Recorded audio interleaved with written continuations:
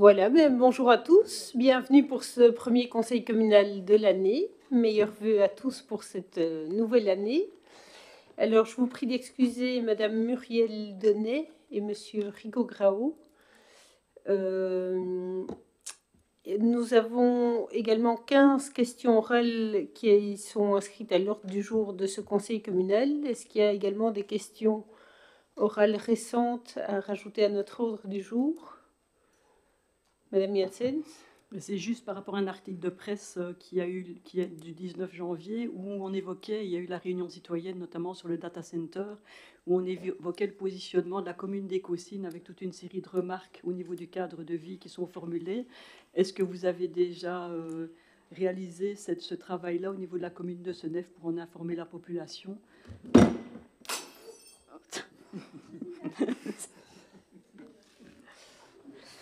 et notamment pour tout ce qui concerne le bruit.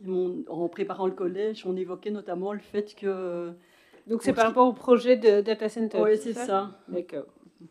Que c'était particulièrement bruyant. Et alors pour l'heure du jour d'aujourd'hui aussi, en lisant les PV de collège ici les deux dernières, deux, deux dernières semaines qui nous ont été envoyés, il s'avère qu'il y a deux points pour lesquels il devrait, si on lit les, les PV de collège, avoir un, des points complémentaires à l'ordre du jour d'aujourd'hui. Il y a peut-être eu depuis des collèges qui ont pris des décisions euh, différentes. Ça concerne l'accord de collaboration et la convention pour la médiation communale. Hein, le, au collège du 13 décembre. mais donc ça, c'est pas l'objet d'une publication euh, ou d'un événement sur la commune. Non, c'est juste pour c'est une des questions par rapport à l'ordre du jour, ça par contre du conseil communal d'aujourd'hui, pour voir si ce n'est pas un oubli d'inscription à l'ordre du jour de deux points qui concerne des éléments pour lesquels dans le collège on évoque que ce sera inscrit au prochain conseil communal et je vois et je constate aujourd'hui à l'heure du jour que ce n'est pas inscrit au niveau du conseil communal. Conseil, mais donc c'est pas des éléments qui sont en question orale euh, récente. Euh. Non, c'était juste par rapport à l'heure du jour, tout à fait. Donc on inscrit la question par rapport au projet de data center. Alors, pour aborder notre ordre du jour, le premier point, c'est l'approbation du procès verbal du 12 décembre. Y a-t-il des remarques? Madame Jensen mais vu l'exercice qui a été fait, qui était assez compliqué, de faire sortir tout le monde et rentrer de séance la fois passée, pour ce qui me concerne, en relisant le PV, il y a deux erreurs. On me fait sortir, je pense, à la place de Madame, de Madame Mathieu pour le point concernant les artilleurs de Feluy, parce que je ne fais pas partie du comité des artilleurs de Feluy. Et par contre, on a omis de nous faire sortir pour l'ONE, on nous fait sortir pour les consultations de l'ONE de famille heureux, mais on a omis de nous faire sortir pour les consultations de l'ONE de Feluy. Alors pour, pour ce qui concerne cet exercice-là, j'avais évoqué au, conseil précédent qu'il y avait une question parlementaire qui avait été posée par François Desquesnes. Je l'ai interpellé ce week-end et il s'avère qu'il a reçu la réponse sur la question parlementaire par rapport aux éclaircissements attendus. Et le ministre Collignon nous a fait part du fait qu'il n'y avait pas lieu de fait de sortir d'un conseil communal ou de ne pas participer à une décision à partir du moment où on n'avait pas d'intérêt financier ou patrimonial au niveau de la décision qui était prise, et que de ce fait-là, qu'on représente des associations X ou Y, on peut participer aux réunions de conseil, ce qui évitera peut-être au prochain, à la prochaine fois où on passe le tableau de subside que nous devions faire l'exercice de sortir ligne après ligne les uns après les autres au niveau euh, du conseil communal. Je peux vous transmettre la réponse que j'ai reçue ce week-end à vous et à la directrice générale du, ministre Collignon. On, on, en a pris connaissance de la réponse du ministre Collignon ah, ben le 10 janvier. Donc, par rapport au PV, c'est d'inscrire que Mme Jensen sort pour le point de l'ONE de Feluy, que Mme Jensen ne sort pas pour le point des artilleurs, mais que Mme Mathieu sort bien pour ce point-là. C'est ça? Moyennant ces modifications, est-ce qu'on peut approuver le PV à l'unanimité. Merci. Le point 2, il s'agit de prendre connaissance du courrier de M. Silverio Cocoda qui nous informe de sa démission du groupe PS. Donc il reste bien conseiller communal, mais de manière indépendante, plus rattaché au groupe PS.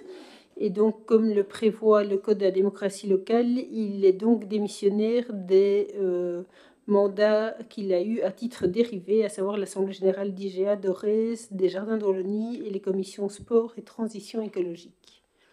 Y a-t-il des remarques par rapport à ce point-là? Le point 3, il s'agit du renouvellement de la reconnaissance en tant que bibliothèque publique. Monsieur Dujardin?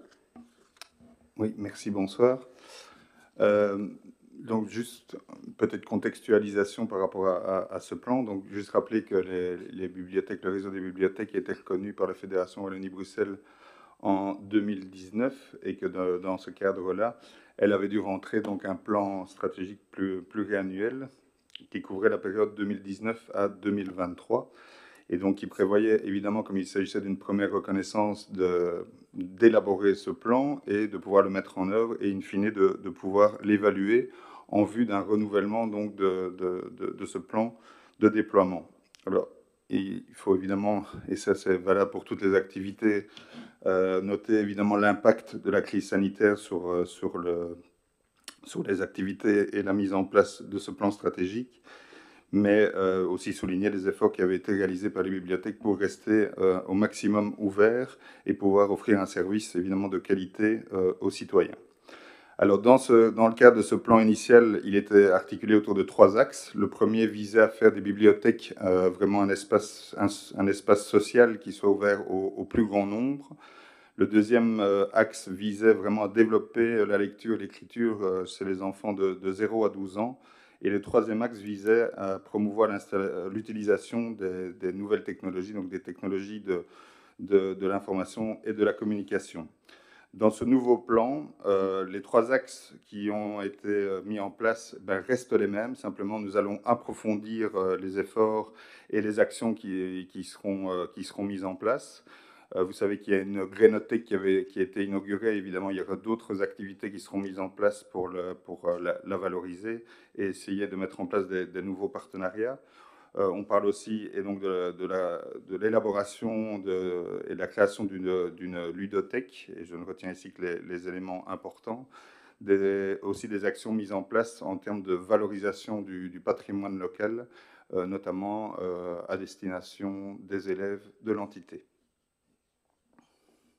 Y a-t-il des questions par rapport à ce point, Madame Janssens Oui, c'était plus des, des réflexions et en tout cas des, peut-être des éléments à mettre en chantier par rapport à certains besoins, que ce soit au niveau du service des bibliothèques ou d'autres.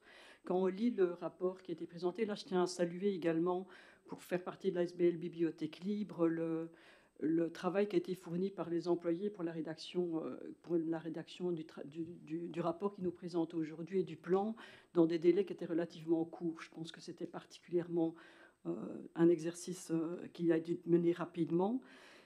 C'est comme dans beaucoup de domaines, je pense, aujourd'hui, dans toute une série de domaines professionnels, on voit que toute une série euh, de, de, de modes de fonctionnement et de projets sont en train d'augmenter en taille de charge pour les employés. Et quand on lit le rapport qui est présenté aujourd'hui, on se rend compte qu'il est évoqué le fait que euh, on a refusé certains, dans, certains encadrements de, de, nouvelles demandes pour la petite enfance sur les années qui, qui se sont passées. Il y a une, diminution du nombre d'heures au niveau des espaces numériques parce que la personne qui était mise à la pension n'a pas été remplacée. C'est ce qui est évoqué dans le, dans le rapport. Et on, fait, on passe de 18 heures à 10 heures au niveau de, de l'encadrement des espaces. C'est pourtant, pourtant un, des projets prioritaires. On y évoque également le fait que euh, les, plans de pilotage maintenant intègrent les problématiques par rapport à la maîtrise de la langue chez les enfants. Jusque maintenant, il y avait un projet qui était en général mené par les bibliothécaires par an sur l'ensemble des écoles. Quand on lit euh, cette, euh, cette analyse-là, on se dit mais combien d'écoles vont devoir être encadrées, combien de classes par an? On a l'impression qu'il y a vraiment une augmentation de la charge au niveau du travail des bibliothécaires avec l'équipe qui ne bouge pas. Et elles, évoquent, quand on lit le, le, rapport, également certaines frustrations, en ce sens que certains projets n'ont pas été menés à bien parce qu'on n'a pas pu pourvoir tout de suite, ce qui est le cas, il faut attendre un mois pour les remplacements, parce que le, projet ludothèque, par, exemple, a été reporté. Il y a eu le Covid. On sait qu'il y a toute une série d'explications qu'on retrouve derrière le Covid. Mais est-ce que l'on ne pourrait pas, un petit peu comme je l'avais déjà évoqué pour le service environnement, à un certain moment, se poser dans des équipes parfois qui sont en train de prendre, vraiment de plus en plus d'actions en charge par rapport à la situation, faire un état des lieux, des besoins par rapport aux actions à mener, en fait, pour voir s'il n'y a pas lieu à un certain moment de réguler soit en diminuant les actions, soit en augmentant les moyens humains en fonction des choix qui seraient posés. Mais c'est vraiment une impression qui ressort ici à la lecture du document, c'est qu'on a on pourrait avoir des, craintes à un certain moment que les équipes s'épuisent ou ne se démotivent parfois parce qu'elles n'arrivent pas à mener à bien tout ce qu'elles sont censées faire au niveau de l'organisation. Donc je pense que c'est un point d'attention qu'il faudrait avoir par rapport à des projets comme celui-là. Et d'autre part, il y a aussi pour les, modifications qu'on y a vues au niveau des structures, on évoque la fermeture de Feluy dans le rapport et le transfert et l'augmentation de l'ouverture sur Arken. Est-ce qu'on a fait également un suivi par rapport au, euh, à la population Est-ce qu'on sait si on a perdu ou pas des lecteurs par rapport à la fermeture de Feluy euh, Et donc, est-ce qu'on a bien eu une augmentation au niveau de la population d'Arken Voilà, c'est tous des questionnements qu'il faudrait peut-être avoir par rapport à ces situations, comme aussi la réactivation qui est pointée après un an de fermeture de l'espace de famille heureux. La de cet espace-là, c'est quelque chose qui va prendre du temps pour aller rechercher de nouveau un public qui est éloigné de la lecture. Donc voilà, on sent qu'il va vraiment avoir beaucoup d'actions à mener. C'est un très beau projet. C'est plein, c'est plein, c'est plein de belles initiatives, mais est-ce que quelque part on a les moyens des actions qu'on est en train d'entreprendre au niveau, au niveau de la gestion humaine? Ça, je pense que c'est un, un des points d'attention qu'il faudrait avoir dans ce type de dossier. Voilà. Sinon, je voulais saluer le travail qui est fait, comme je l'ai dit en introduction, par les bibliothécaires et par l'équipe qui est derrière, dont également le soutien par les joints des bibliothèques. Monsieur Dujardin. À la lecture du document, on se rend compte en effet de la richesse déjà des activités qui existaient au sein, de, au sein des bibliothèques, hein. euh, que quel que soit le public, donc, euh, mais essentiellement aussi notamment les, enfants avec toute une série d'activités qui étaient déjà existantes, mais il y a toute une série de nouvelles activités qui ont été mises en place, parfois enfin, grâce, entre guillemets, au, Covid. Je pense notamment en termes de, communication, en termes de valorisation de patrimoine, avec toute une série d'initiatives qui étaient des initiatives plus numériques, puisqu'il fallait euh, penser à créer des, nouveaux outils euh, qui soient accessibles, vu le contexte euh, qu'on a connu. Le plan qui était proposé ici, il s'est vraiment appuyé sur la mise en place du premier plan stratégique, donc sur, finalement sur trois ans, trois ans et demi de, mise en œuvre, mais il était vraiment mis en place avec, avec les équipes au niveau de la GEM, mais aussi évidemment avec les équipes au niveau de la bibliothèque. Donc les propositions qui ont été formulées, elles, elles, viennent du service initialement de bibliothèque, puis discutées évidemment avec l'ensemble des équipes. Donc c'est vrai qu'il y a énormément de nouveaux projets qui sont mis en place, mais ce sont des projets qui sont portés aussi par les équipes de, par les équipes de bibliothèque. Alors, vous parlez notamment de la, ludothèque. On est en phase d'élaboration du projet. Si à un certain moment, il faut euh, renforcer les équipes ou, qu'on constate qu'en effet, pour pouvoir développer ce type de projet, il va falloir renforcer le nombre d'heures disponibles, la question se posera et la question de l'opportunité de ce type de, de projet se posera. Mais euh, pour l'instant, tous les projets qui sont proposés dans le plan sont des projets qui sont comme, supposés comme étant euh, portables par, l'équipe en place. Et euh, avec des efforts accrus, parler de familles heureuses, il faudrait en effet reconquérir quelque part un, public qui n'a plus accès à la, bibliothèque. Mais aussi, on a réfléchi aussi à aller rechercher un autre type de public, ouvrir finalement les, bibliothèques, les horaires de bibliothèque en fonction aussi de, des horaires de l'école. Donc il y a toute une réflexion qui est mise en place, mais qui est mise en place par l'équipe et qui euh, suppose qu'elle soit en tout cas capable de pouvoir mettre en place le plan stratégique. En vous écoutant, je pensais aussi à audiobis étudiants parfois, qui, serait peut-être une piste qui peut parfois soulager pour certains projets bien spécifiques, les équipes pour, pour du numérique ou pour d'autres. Si je ne me trompe, ils, ont des, ils engagent déjà le mercredi après-midi pour certains suivis de projets d'audiobistes étudiants. Ça peut être une des pistes, mais on voit que euh, je n'en ai pas parlé au départ, mais, au départ, mais même pour les enquêtes, par exemple, ils, ont, ils disent on n'a pas su mener à bien, ils l'ont exprimé quand on a eu la SBL, on n'a pas su mener à bien les enquêtes comme on le voulait. Maintenant, ils ont vraiment un gros projet d'enquête avec plein de questionnaires. Ça veut dire du dépouillement derrière, ça veut dire plein de choses. Peut-être qu'il y a pour des tâches pour lesquelles on pourrait Mais je vais vous arrêter. Notre budget, il est euh, tout juste à 3 000 euros de boni. Et donc, on va faire avec les moyens dont on dispose. Et, euh, il faudra faire des choix euh, si c'est le cas. Mais ici, le plan qui est proposé est proposé par les équipes en place avec le personnel en place. Donc, par rapport à ce point-là, il n'y a pas de vote, c'était une prise de connaissance.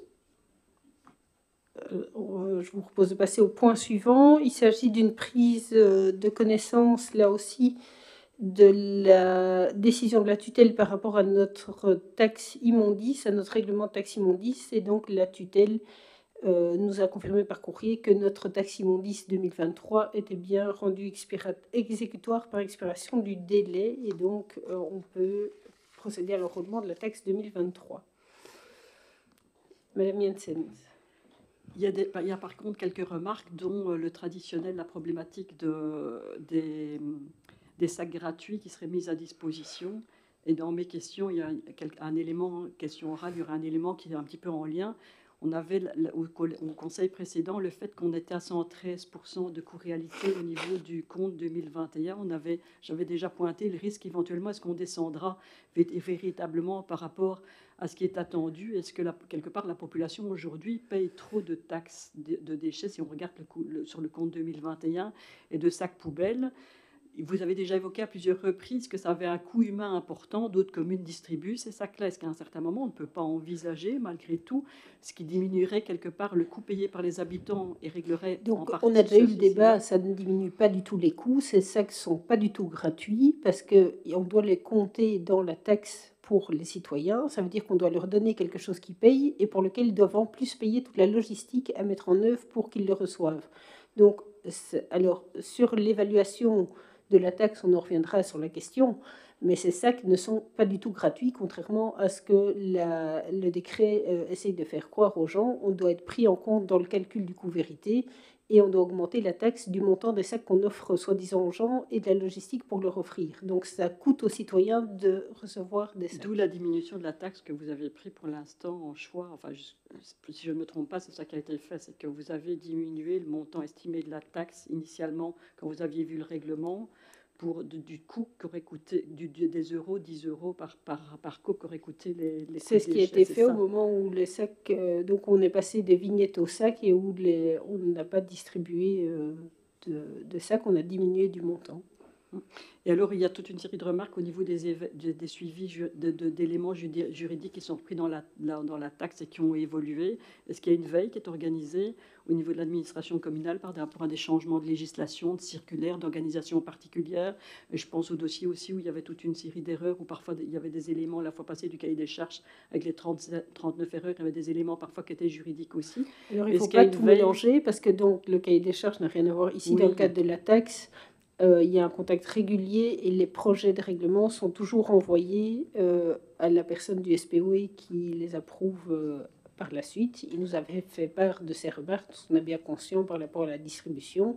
C'est un choix qui est fait de manière consciente parce que je pense que c'est au détriment des citoyens, contrairement à ce que le décret impose.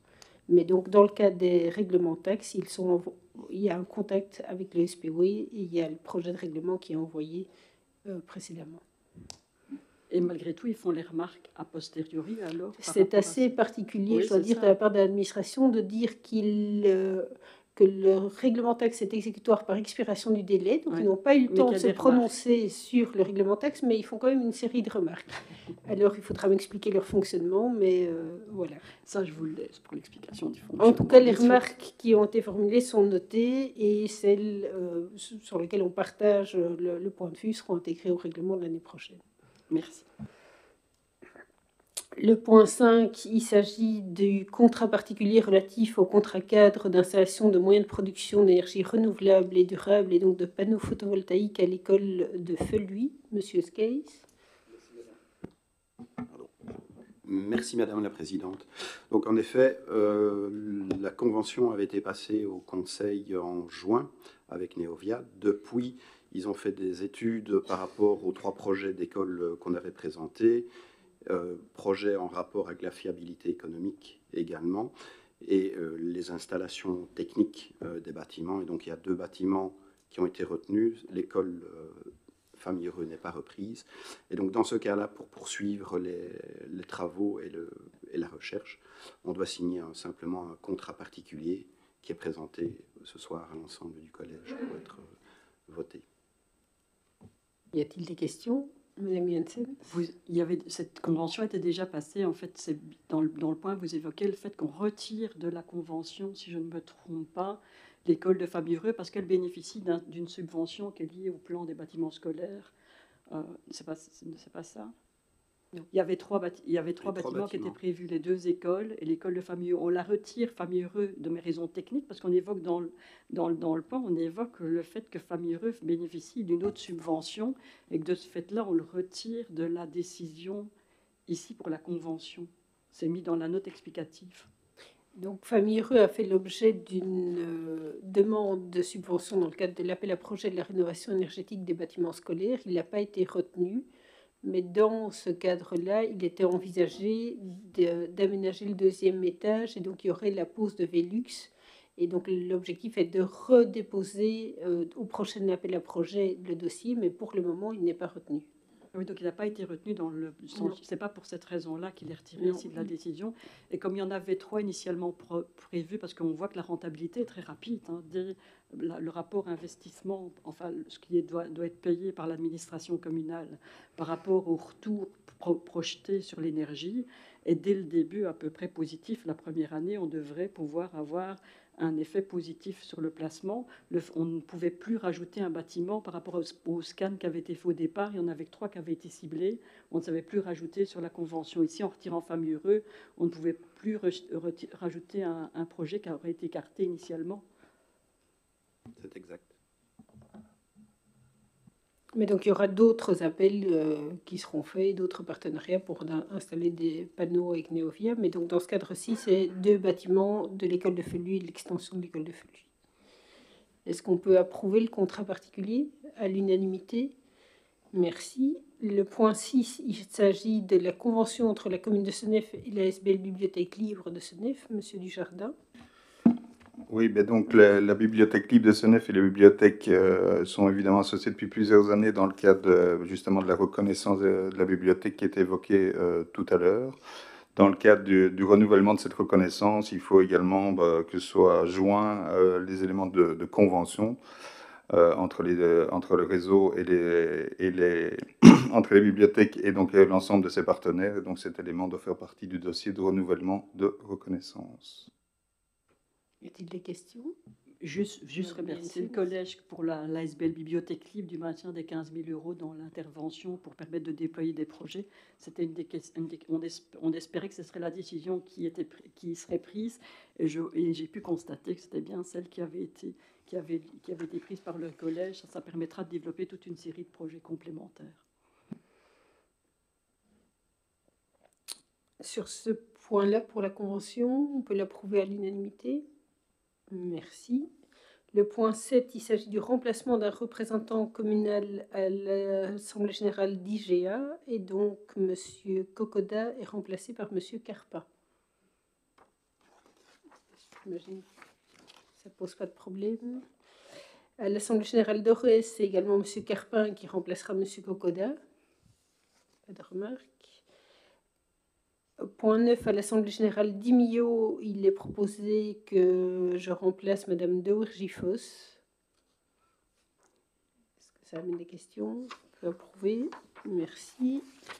Le point 10, il s'agit du remplacement de M. Kokoda par M. Dessey à l'Assemblée générale des Jardins d'Olonie le point 11 du remplacement de Madame Delfos par Madame Janssens à l'Assemblée générale de l'Agence immobilière sociale Logicentre.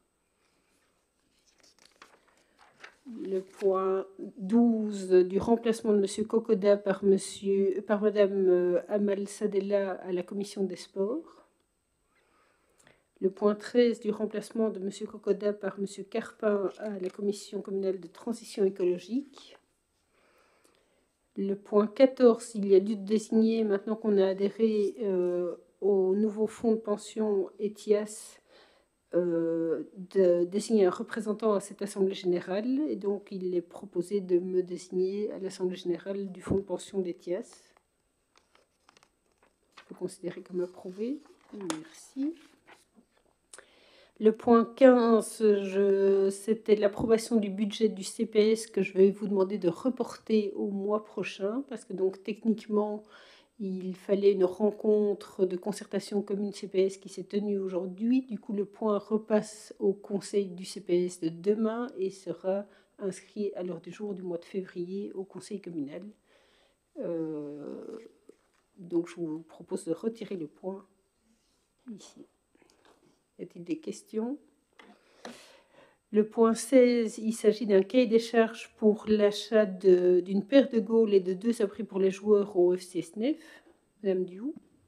Donc, un budget est prévu de 20 000 euros pour la, rénovation, de, pour le remplacement des goals du terrain naturel et pour euh, la, fourniture et la pose de deux abris pour les joueurs sur le côté terrain synthétique. Y a-t-il des questions?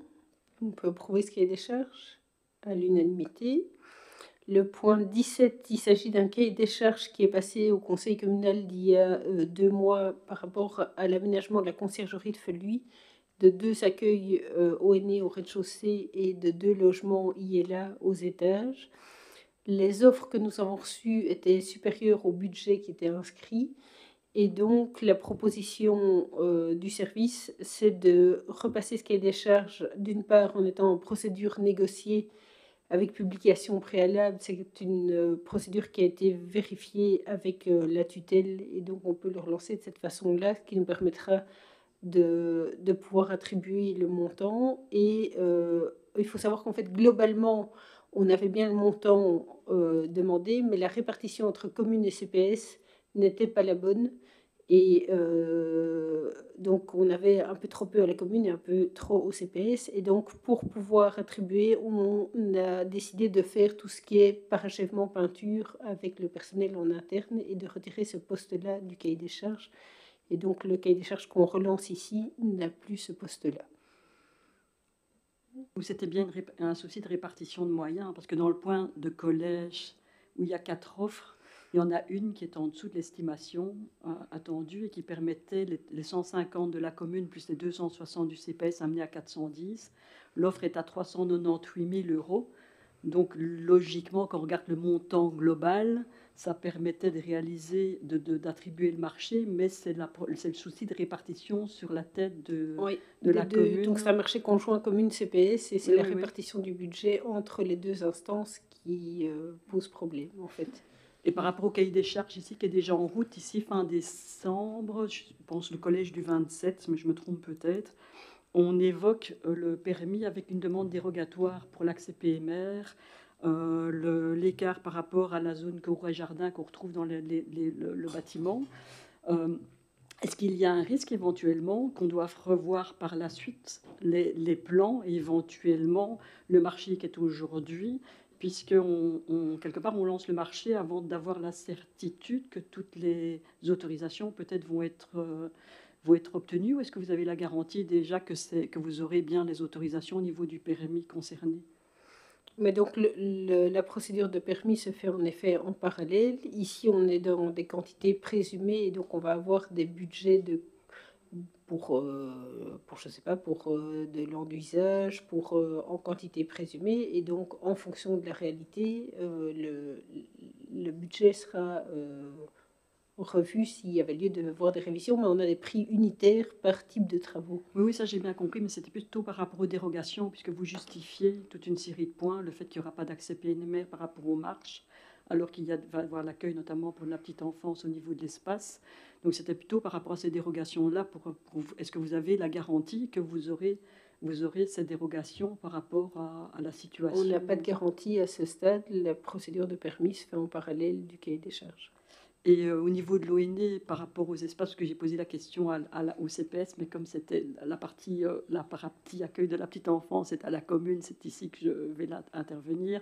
Euh, est-ce que on a déjà également, je suppose que vous êtes, vous êtes partie des, des répartitions qu'on connaît en termes de volume, mais est-ce que par rapport aux aménagements, vous avez eu un contact préalable avec l'ONE pour garantir que ce que vous envisagiez comme projet avait toutes les chances également de recevoir la validation de l'ONE donc les plans ont été faits en partenariat avec Pirouline, qui est le prestataire euh, d'accueil sur la commune, et euh, dans le respect des normes ONE.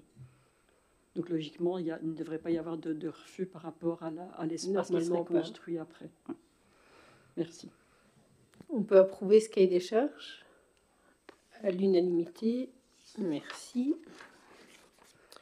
Le point 18, il s'agit de la renonciation à la subvention POLEC 2021 euh, ressources humaines et de l'accord de principe de répondre à l'appel à, projet POLEC 2022. Monsieur Skeis. Merci Madame la Présidente. Donc, euh, en effet, nous avons euh, fait un appel POLEC 2021 pour en fait avoir un subside pour un mi-temps pendant deux ans avec un subside de 75%. Entre-temps, nous avons reçu 80% euh, de ce subside, mais nous ne l'avons pas engagé, étant donné que malheureusement, nous avons dû relancer deux fois la procédure. Nous avions chaque fois quelqu'un qui était prêt à signer le contrat et qui, au dernier moment, pour euh, d'autres raisons, n'a pas signé. Donc, de ce fait-là, on préfère renoncer à ce projet-là et de demander le prochain qui va venir. Et là, euh, c'est plus intéressant au niveau des subsides. D'abord, c'est un contrat pour 100% et sur 3 ans. Et donc là, euh, le service environnement est occupé à, plancher sur le dossier pour euh, rentrer le maximum d'informations pour pouvoir être accepté dans cet appel d'offres, tout en sachant que nous espérons que au bout de cette procédure, nous aurons enfin quelqu'un pour prendre ce poste. Parce que c'est ça la pierre d'achoppement. Sur le marché de l'emploi actuel, c'est un profil qui est fort recherché. Et donc on sait que les, candidats préfèrent aller euh, dans le privé que dans le public. Donc euh, on croise les doigts, comme on dit. C'est ce que je disais à mes collègues justement tout à l'heure. Euh, le gros souci de ce type de projet aujourd'hui, c'est que tous les pouvoirs publics sont en train de se, mettre en route pour, parce qu'ils avaient probablement à un certain moment oublié qu'il y avait les objectifs de 2030 et que comme ils ont, comme ils maintenant ils se sont rendus compte que l'urgence était de plus en plus urgente, on met tout en place maintenant. Mais pour être euh, notamment à l'arrêt pour tout ce qui est euh, formation de, des de base initiale dans le domaine, il n'y a pas énormément de, de, fait de, former pour l'instant qui correspond à, à ce public-là.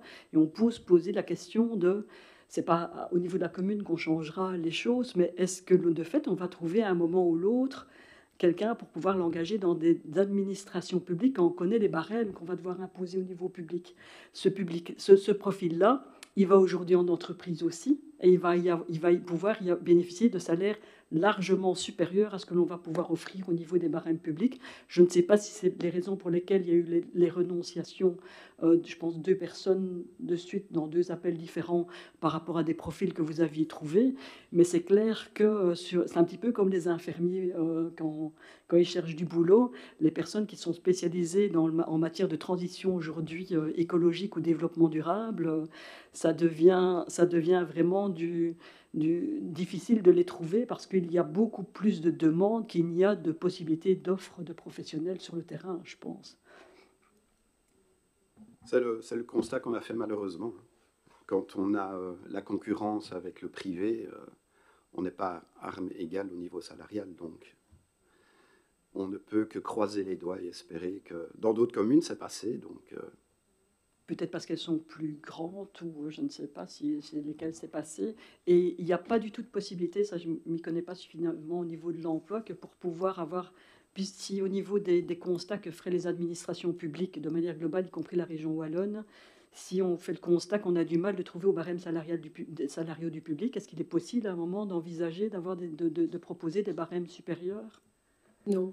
Et c'est, enfin, donc au niveau recrutement, c'est une difficulté qu'on a dans plusieurs postes euh, de trouver les personnes compétentes au bon endroit. Donc euh, au niveau du service finance, on relance. Euh, le, recrutement parce qu'on n'a pas eu de candidat. Au niveau du service du personnel, on relance le recrutement parce qu'on n'a pas eu de candidat. On va lancer au niveau du service travaux aussi, mais on sait d'expérience les autres fois qu'on a dû le lancer plusieurs fois. Donc, c'est évident de trouver les personnes qui ont euh, des profils et des compétences particulières dans les administrations. La bourgmestre d'Estine ce dimanche tirait le même discours par rapport à trois profils pour lesquels il ne trouvait pas pour euh, le recrutement bien particulier aussi. Donc je pense qu'à un certain moment, au niveau des, conseils communaux, des administrations, ça vaudrait peut-être la peine qu'on interpelle par contre les, les, pouvoirs subsidiants et publics sur la problématique qui est rencontrée par rapport au recrutement dans toute une série de structures, je pense. Donc, il y a un travail de révision de la RGB qui est en cours, euh, et c'est vrai que c'est une difficulté euh, qu'on a aussi par rapport à des euh, chefs de service, parce que entre quelqu'un qui est niveau D6 dans un service et qui devient chef de service, c'est une augmentation du salaire brut de 30 euros par mois pour prendre des responsabilités. Donc ça n'incite pas évidemment à postuler à ce type de fonction. Et via l'Union des villes et communes, c'est un message qu'on relaie et je pense qu'on peut le relayer euh, aussi à Mme Pécriot au niveau de la révision de la RGB au niveau de la région Wallonne. Sur le POLEC, on peut approuver le point à l'unanimité. Merci. Le point 19, là, c'est une demande du collège vis-à-vis -vis du conseil qui est compétent pour le licenciement du personnel de pouvoir avoir délégation pour du licenciement pour motif grave, parce qu'en effet, dans le cas de licenciement pour motif grave, la décision doit être prise dans les trois jours de la connaissance des faits. Et vu la difficulté de pouvoir, dans ce timing, réunir un conseil et entendre la personne, euh, on demande au conseil de déléguer au collège communal et en s'engageant à informer le Conseil dès qu'une procédure euh, est lancée pour que le, les conseillers puissent consulter le dossier. Mais techniquement, réunir le Conseil dans les trois jours pour prendre une décision est quelque chose de très compliqué, surtout que faire réunir un, un collège qui décide de réunir un Conseil euh, et qui prenne la décision dans les trois jours. Est-ce qu'il y a des remarques par rapport à ça? Donc c'est bien uniquement pour les licenciements pour faute grave, parce qu'il y a une urgence dans le timing, oui. en fait. Pas par, pas par rapport à ce qui était présenté dans le point, pas parce qu'il y a eu une jurisprudence par rapport à une situation particulière. La jurisprudence est dans le cadre d'une faute grave. Dans le cadre d'une Où le collège avait pris la décision pour être dans le timing et où euh, la décision a été cassée parce que, parce que ce n'était pas l'organe compétent et qu'il n'y avait pas de délégation. Donc c'est uniquement dans la situation d'un motif euh, pour faute grave et en, s'engageant à informer les conseillers qui pourront euh, consulter. Mais la difficulté qu'on pourrait rencontrer, c'est d'obtenir le quorum euh, dans, dans, ce délai de trois jours. Qui vote contre? Qui s'abstient? Qui vote pour? À l'unanimité, merci. Le point 20, il s'agit euh, de lancer la procédure pour euh, l'appel à candidature d'une fonction de direction à l'école d'Arken. Le directeur de l'école d'Arken va bientôt prendre sa pension et il sera déjà absent à partir de fin mars. Et donc, on vous propose de lancer la procédure, d'approuver l'appel à candidature qui est passé en concertation COPALOC. Et donc, vous avez reçu les modifications suite à la COPALOC par mail, euh, de déléguer le collège communal pour la constitution du jury d'examen et de déléguer au collège la réception des candidatures. Est-ce qu'il y a des questions par rapport à ce point? On peut lancer l'appel à candidature. Merci. Alors, on en arrive aux questions. Donc, il y a cinq questions posées par le groupe AC+, puis neuf questions par le groupe S et une question pour le groupe LB. Pour le groupe AC+, la première question. C'est pour les conditions de mise à disposition de la salle des mariages. Donc, on, vous avait déjà interpellé quant à la mise à disposition de locaux d'associations non senéfoises pour des espaces liés au règlement de mise à disposition des salles. Nous pointions un risque de, de création d'opportunités intéressantes pour des associations hors entité, d'espaces mis à disposition à des prix peu élevés en regard de ce que l'on retrouve sur le marché au niveau des locations des salles. Alors c'est un, un, phénomène, et on réinsiste, qui, nécessite de le maîtriser convenablement. Dans le collège du 6 décembre, on peut lire que la salle des mariages est mise à disposition d'une association non reconnue par SENEF pour une assemblée générale et une conférence. Ce n'est pas du tout l'objet, parce que la conférence par rapport au public est ciblé, qui sont, si je ne me trompe dans la lecture du point, des, des, agriculteurs qui doivent faire de, ce nef dans ce qui était présenté, ça ne pose pas de souci.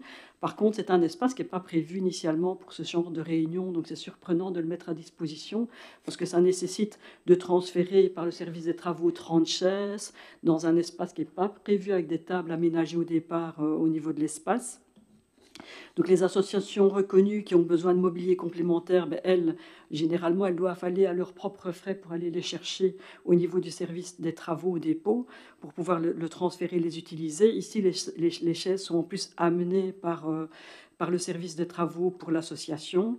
Euh, dans le point de collège, on n'évoque pas de fiche complétée pour l'octroi d'un subside en nature par le collège et on n'y prend pas la décision d'un avantage en nature.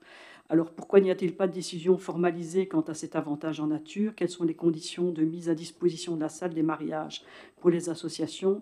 Et quand et pourquoi propose-t-on éventuellement cet espace pour des associations? Madame Diou oui, donc la salle des mariages ne fait pas partie des salles que l'on met à, disposition, à la disposition des associations. Toutefois, si le collège ou les, services estiment que cette salle convient pour des réunions, des formations ou des petites conférences, elle peut être réservée avec décision du collège.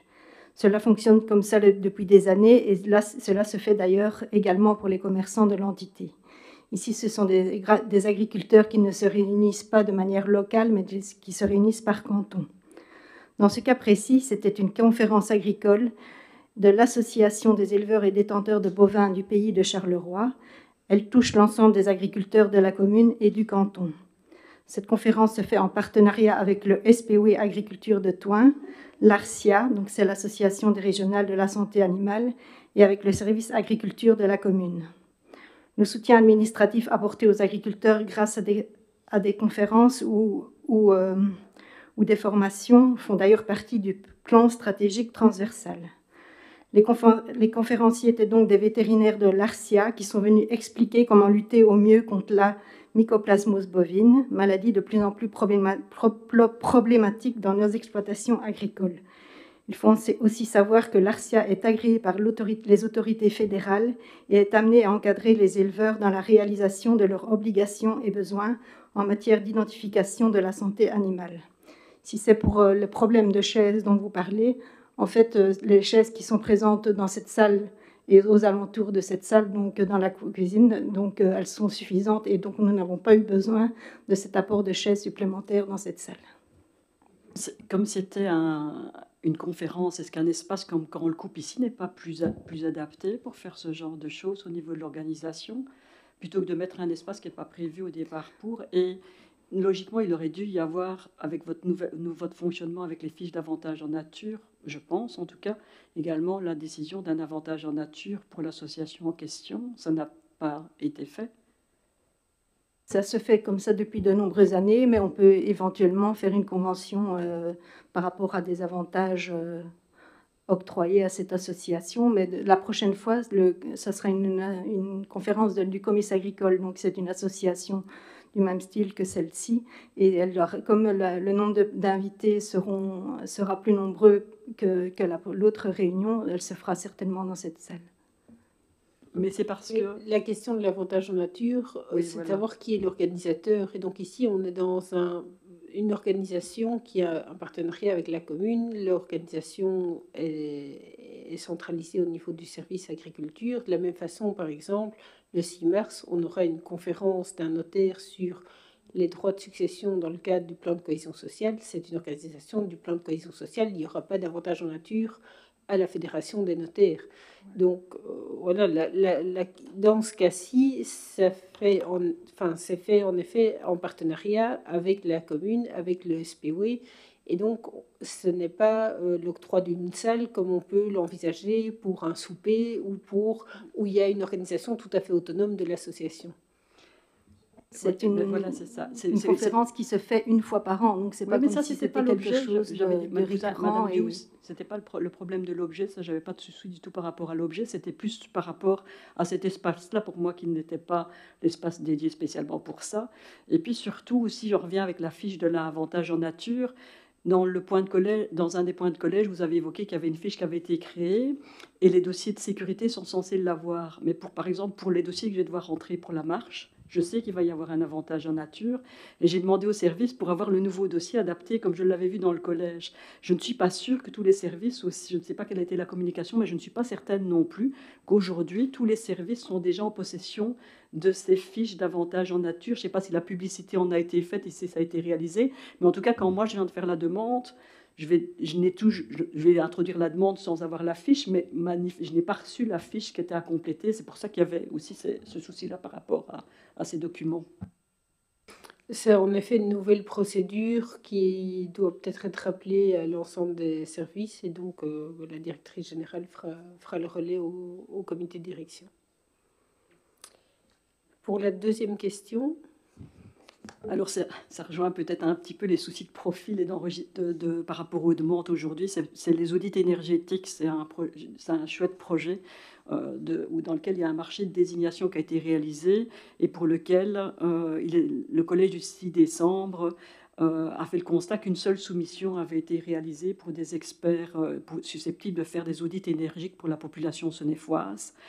et de ce fait-là, la subvention de 60 000 euros euh, dont peut bénéficier la population senéfoise pour un encadrement pour les audits énergétiques euh, ne peut pas être activé pour l'instant si on regarde. Alors je ne sais pas s'il y a un risque de perte, mais en tout cas c'est un subside pour lequel de nouveau on a un souci de recrutement. Enfin je ne sais pas si c'est de nouveau le même souci spécifiquement que le point précédent.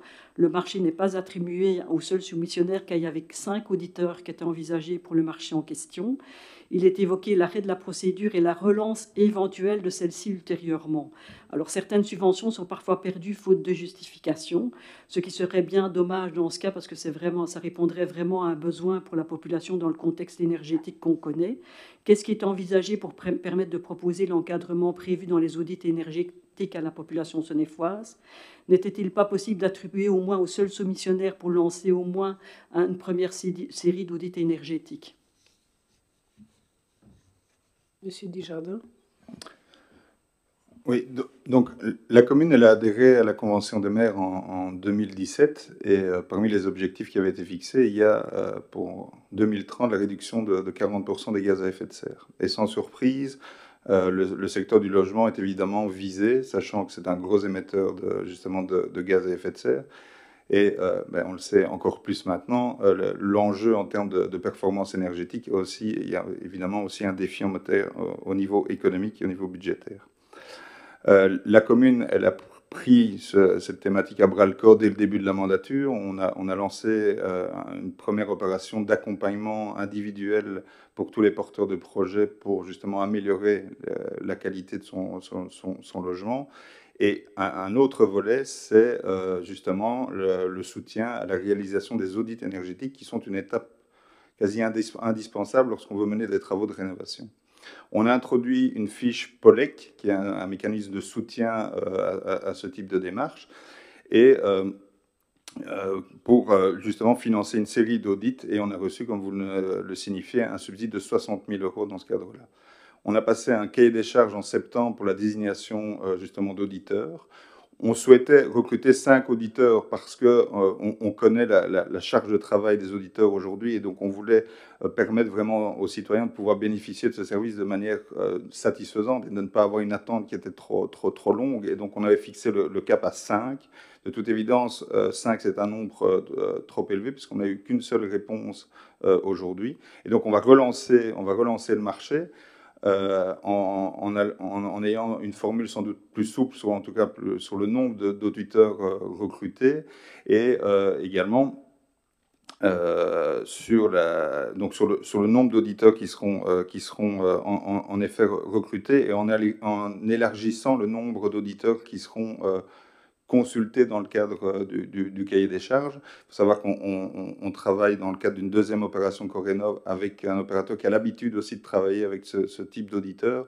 Et donc, on, s'appuiera aussi sur leur expertise pour essayer d'élargir, en tout cas, le nombre de candidats, de candidats potentiels ici, il y avait vraiment l'obligation d'avoir les cinq et on va élargir vraiment et on va relancer prochainement alors ce, sujet, ce, marché-là pour, ne pas perdre ce subside parce que ce serait vraiment dommage de ne pas pouvoir bénéficier de la subvention. Et donc, oui, donc l'idée, c'est de, relancer en fixant sans doute à trois, auditeurs. Et donc, le, projet doit être réalisé pour la fin de, le, enfin, 31 décembre 2025. Et donc, on est en moyenne à 15 audits à, à, financer pour les trois ans à venir. Vu le contexte et vu le nombre de, dossiers introduits en termes de rénovation, on n'a pas d'inquiétude. Et le service m'indiquait qu'il espérait en tout cas pouvoir désigner déjà ici durant le premier, premier trimestre 2023. Merci. La troisième question c'est l'impact des nouvelles dispositions dans les réciparcs au niveau du coût vérité, indirectement. Donc, lors du conseil communal de décembre, nous avons pris connaissance des remarques formulées par le SPOE sur la MB2. Il y avait une autre question sur le projet réseau. Là, j'en ai loupé la 3. Ah, le projet, le projet réseau énuyé pour l'épanouissement de la santé mentale des enfants, adolescents et usagers assimilés, avancement du projet depuis fin octobre. Donc, réseau vise des soins de première ligne et le collège a répondu favorablement à la demande d'organisation d'une réunion d'information avec les représentants de réseau afin de faciliter la collaboration intersectorielle et multidisciplinaire avec les prestataires et acteurs de soins actifs sur le territoire senefois. Bien que la commune de Senef ne soit pas un partenaire de soins de première ligne dans le cadre de santé mentale, dans le cadre de la santé mentale des jeunes pointés comme étant mis à mal tout particulièrement depuis la crise sanitaire, qu'en est-il de ce projet qui, intégré, euh, le plan, qui, était intégré dans le plan de cohésion sociale? Cette réunion s'est-elle tenue? Si oui, quelles organisations étaient conviées? Et y ont-elles éventuellement répondu?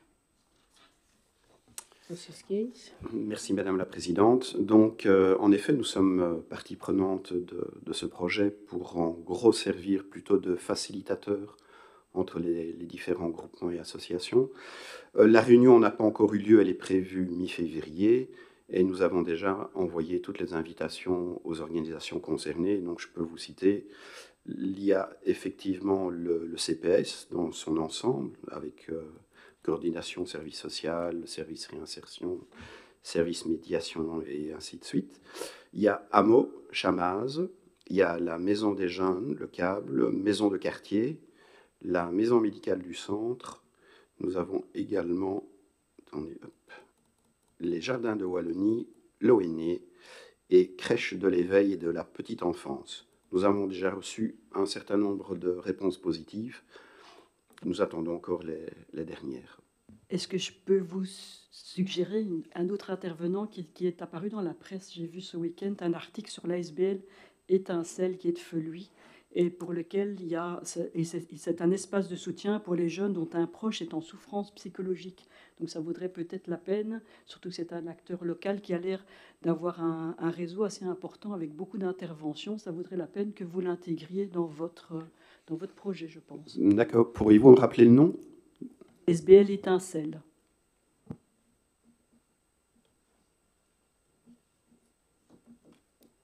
Merci. Merci. La quatrième question. Donc l'impact des dispositions, des, nouvelles dispositions au niveau des réciproques sur le coût vérité en 2021, comme je le disais en introduction tout à l'heure, les citoyens ont payé visiblement un peu trop au niveau d'utilisation de la taxe. On a vu sur les réseaux sociaux ces derniers temps toute une série de citoyens et citoyennes se plaindre en découvrant qu'ils ne pouvaient plus aller porter au niveau des parcs à conteneurs toute une série de déchets encombrants lorsqu'ils pouvaient rentrer dans leur sac de déchets ménagers. Ils ils se plaignaient notamment au niveau des réseaux du coût complémentaire que cela allait représenter pour eux. Alors ce coût complémentaire pour les citoyens devrait constituer une augmentation des recettes en sac poubelle et donc une augmentation indirecte encore euh, des recettes euh, par rapport à l'intervention des citoyens et des citoyennes senefoises. Nous n'avons pas encore les chiffres euh, au niveau du coût et des recettes au niveau des, déchets de, de, de 2022, puisqu'on avait arrêté le compte 2021 mais les recettes sur 2023 de ce fait-là pourraient encore augmenter par rapport à la réalité aujourd'hui de ce qui était payé par les citoyens. L'estimation de ce coût de gestion des déchets reste un exercice de projection, j'en suis tout à fait consciente, mais comme des dispositions changent dans les réciparques ici depuis début 2023, a-t-on une idée de l'impact que cela pourrait avoir sur le coût vérité? Quels, sont les coûts au kilo des déchets repris via le ramassage à domicile et des encombrants réciparques A-t-on une idée des volumes qui seraient concernés par le basculement du dépôt en réciparque un ramassage à domicile? En fonction du résultat du coût vérité via le compte 2022, est-il envisageable de projeter un effet sur 2023 en cours d'année civile? La taxe pourrait-elle éventuellement être revue ou des sacs pourraient-ils être offerts, mais ils ne sont pas véritablement offerts, si j'ai bien compris tout à l'heure, en cours d'année civile? Monsieur Skates Merci Madame la Présidente. Euh, vous parlez dans, dans votre énoncé de nouvelles dispositions. En fait, ce ne sont pas des nouvelles dispositions, ce sont des dispositions qui existaient déjà auparavant, qui sont imposées par la législation, mais qui au fur des années n'ont plus été appliquées d'une manière très stricte, je dirais. Et donc IGA a décidé de, remettre tout le monde dans le même niveau, puisqu'ils avaient constaté que dans certains, certains réciparques, les règles n'étaient pas nécessairement les mêmes pour les encombrants. Et donc, euh, ils ont tout, tout remis à, à niveau pour que ce soit conforme, euh, quel que soit le réciparque où on va pour les encombrants. Alors, dans votre question, vous demandiez euh, le coût des déchets pour le ramassage. Euh, nous avons eu M. de Mortel, justement, en, contact, et il n'avait pas la possibilité de nous donner exactement le, chiffre de ce que cela coûtait. Ce qu'il faut savoir, c'est que, en gros, les collectes et le réciparque sont pris en charge via les taxes des déchets de la commune et que le traitement des déchets ménagers, lui, correspond à la recette de la vente des sacs. Ça, c'est en gros. Alors, euh, vous demandiez euh, évidemment la distribution des sacs, mais comme Madame euh, la Présidente l'a souligné, ça coûte même plus cher que de les donner, entre guillemets, et que malheureusement, nous n'avons pas de, vision à plus long terme de savoir quel va être l'impact du fait qu'il y a peut-être une restriction de l'accès pour les encombrants. La volonté d'IGA pour euh, ce concept-là, c'est de se dire ben, le citoyen a la possibilité encore de faire un effort au niveau des encombrants. On constate qu'à ce niveau-là, il y a certains encombrants qui, au moyen d'une intervention, peuvent faire une séparation. Par exemple, l'exemple qui été donné, c'est des outils euh, de jardinage, où lequel on a soit un manche en bois avec une partie métallique. Avant, comme ce sont des objets longs et encombrants, on allait les mettre directement dans les encombrants. Donc maintenant, ce qui est par exemple conseillé, ben, c'est de, casser le bois en deux et de mettre la partie métal d'un côté et de mettre le bois de l'autre côté. Donc c'est inciter également le, citoyen à être un petit peu plus attentif à ce qui mettait dans, dans, les encombrants par rapport à auparavant. Mais donc je rappelle, ce n'est pas une nouvelle disposition, c'est simplement l'application de la législation qui était déjà là auparavant. Euh, la taxe, ben, comme on l'a dit, euh, nous sommes toujours dépendants des budgets, et le problème, il est là. On a rappelé d'ailleurs à M. de Mortel ce, souci. Donc quand on fait la projection des taxes, on se base sur les budgets.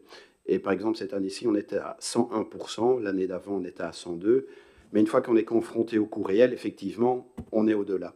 Et donc on lui a posé la question de voir ce qu'il pouvait faire pour éviter qu'on ait un écart important à ce niveau-là. Ce qu'il faut savoir, c'est que l'argent qui était euh, mis en plus par rapport au coût réel sont gardés au niveau de l'IGA et d'IDEA et peuvent servir en cas de besoin à ne pas devoir augmenter éventuellement une taxe future, puisqu'on peut puiser entre guillemets dans ce pot pour arriver à l'équilibre budgétaire pour le coût vérité réel. Je ne vous suis pas bien parce qu'en réalité, c'est les recettes communales, donc c'est dans le chef des recettes au niveau de l'administration communale que le coût est plus élevé que le. On a plus de recettes, si j'ai bien compris le coût vérité, ou alors je n'ai rien compris au coût vérité. Quand on dit on a un, on a un coût vérité qui est de 113%, donc il y a plus de recettes qu'il n'y a de dépenses, j'espère qu'on ne va pas demander à IGA de, de facturer plus cher pour que l'on qu'on ait, ait des dépenses plus élevées. Donc on a, c'est pas dans ma conception, la taxe elle reste à l'administration communale, elle n'est quand même pas renvoyée à IGA pour faire des réserves pour l'avenir au niveau de certains non, projets. Mais comme, comme je répète, elle est la taxe, elle est basée par rapport au budget et les chiffres que nous donne IGA. Et donc c'est pour ça que cette année-ci, on était à 101% dans les budgets, mais dans les coûts réels, on est plus haut. Et donc notre demande, ce n'était pas effectivement de demander à IGA qu'elle augmente ses prix, mais de voir plus proche de la réalité que, que c'est le cas actuellement, puisque par exemple, ils vont être confrontés à des augmentations salariales avec les différents index, le coût des carburants qui augmente, le traitement des déchets dans les différentes filières. Et donc là, ils sont face à des estimations et nous, on est malheureusement obligés de, suivre par rapport à ces, à ces budgets suivi en cours d'année à plusieurs étapes. Si je ne me trompe pas, le règlement de taxe, on ne peut pas le revoir en cours d'année civile. Il a été voté en fin d'année. Et quoi qu'il arrive, si on se rendait compte après qu'on est trop élevé, de toute manière, on ne sait pas faire marche arrière.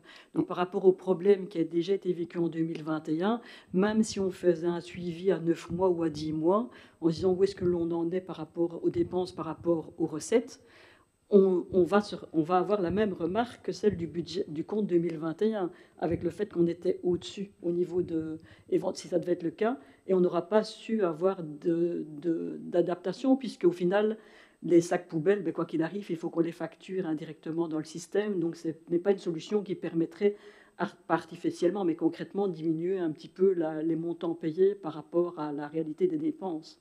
Donc on n'a aucun levier pour pouvoir euh, adapter en cours d'année civile s'il y avait des soucis euh, de surtaxation.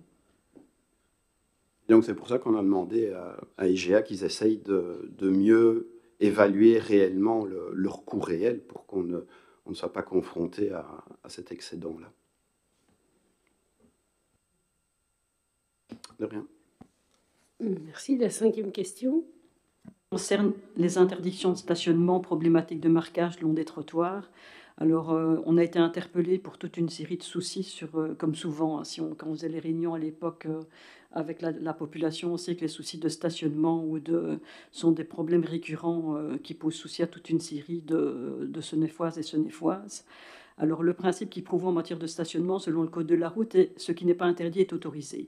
Bien que tout un chacun est censé connaître le code de, la route, une partie de la population méconnaît certains points de celui-ci par omission ou ne respecte pas les règles et ne respecte pas les interdictions de stationnement. Nous pensons notamment à une meilleure visibilité de l'interdiction des stationnements identifiés au centre des villages par des interdictions euh, suivantes.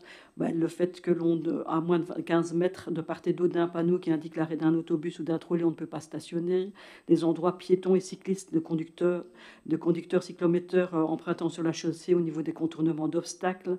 Euh, les emplacements de stationnement établis hors chaussée.